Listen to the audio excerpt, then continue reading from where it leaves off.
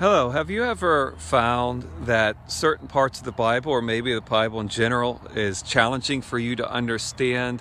Uh, there's parts that you don't remember, there's parts that are affecting the other, and you're not really sure what's going on, and you really desire to pull from the Bible the correct meaning that the that God intended and apply it to your life effectively and establish a thorough biblical mind and think the way that God thinks and approach life the way God wants you to approach it.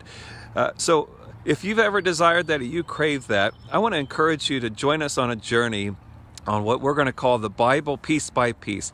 How to systematically work your way through the Bible on a regular basis, pulling out from it those all the different meanings that are there, the deep insight and understanding that comes from the scripture, and being able to leverage that to think the way God thinks and approach life the way God intends you to approach life. So I want to encourage you to join us. We're going to begin that on Wednesday nights at 7 p.m.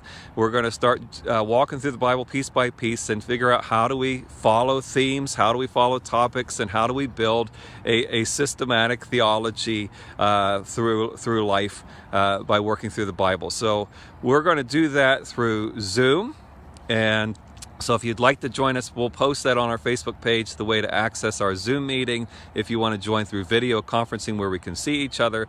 Uh, we're also going to send that video live through Facebook, so you can join us on Facebook Live to watch that Bible study as well. Uh, this will be weekly at 7 p.m. So I hope that you'll journey with us as we get deeper into the Word of God and really know how to build it. Because uh, when you read through the Bible, what happens is you read through the Bible, Genesis to Revelation, and you learn a lot.